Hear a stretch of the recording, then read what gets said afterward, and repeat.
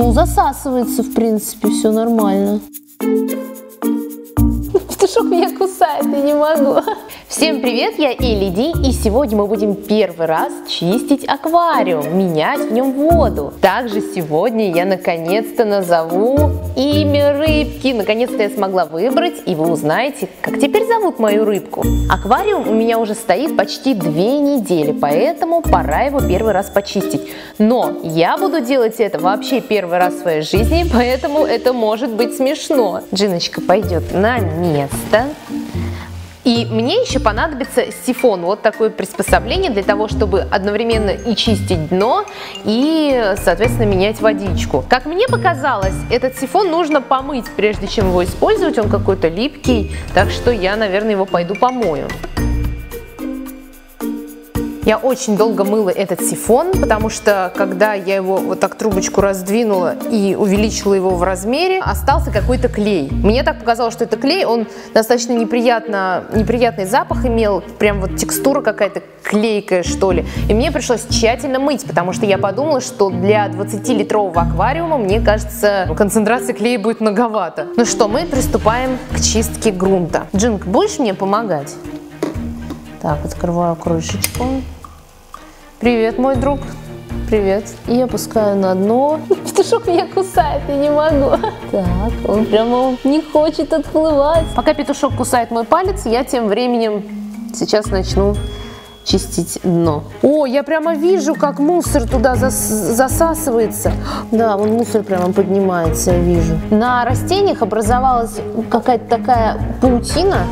Я даже не знаю, что это, но, в общем, это грязь. Поэтому около растений стоит тоже попылесосить. Я, да, их надо, короче, вот так вот немножко потормошить, потормошить и запускать процесс, потому что они начинают отлетать. Правой рукой я открываю или закрываю трубочку сифона. Вода выливается, закрываю, перестает выливаться. Ну, засасывается, в принципе, все нормально. А петушку вот все надо прямо вот рядом присутствовать. Вот нет, чтобы отплыть куда-то и подождать, пока я почищу. О, на звездочках тоже немножко грязи было. Вот этой тины, которая упала. Немножечко почистить ее тоже. У меня пока искусственные растения. Ребят, я пока не знаю, как мне, какие мне нужны настоящие растения в аквариум. А, сильно ли они нужны петушку. Ну вот я не знаю, посоветуйте какие-то растения, которые просты в уходе, подходят для конкретно моего аквариума. Так, я, кажется, тут одно растение случайно вынула из грунта. Петушку вот все внимание должно быть. О, нормально, вроде встало растение, хорошо. Ну, в общем-то, я уже откачала достаточно воды, почистила грунт и еще почистила растения от вот этой паутины. В принципе, стало их меньше. И сейчас, в общем-то, я должна долить сюда э, воды чистой. Помимо этого, нужно еще учесть, что, как правило, после чистки поднимается очень много грязи э, со дна, но постепенно это приходит в норму буквально в течение нескольких часов. Посмотрим, что будет. Все, на этом достаточно. Так, сливаю воду всю в ведро. Отлично. Теперь доливаю сюда воду. Потребуется еще вода. Так, где рыбка? Аккуратненько. Да, этого достаточно. Таким образом, аквариум я почистила. Теперь по поводу того, как я назвала рыбку. Спасибо всем, кто присылал э, ваши варианты имени для рыбки, писал в комментариях. Спасибо.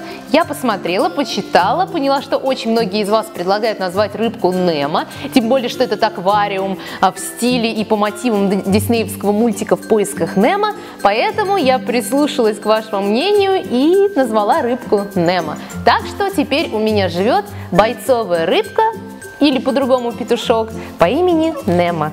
Да, Джинки тоже, кажется, понравилось.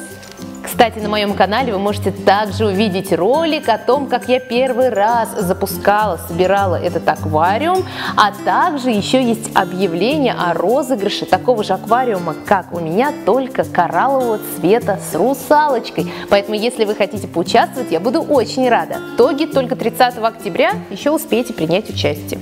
Кстати, этот аквариум вот стоит снизу. Аквариум Ариэль. Подписывайтесь на мой канал о питомцах, жмите пальчик вверх и увидимся с вами скоро.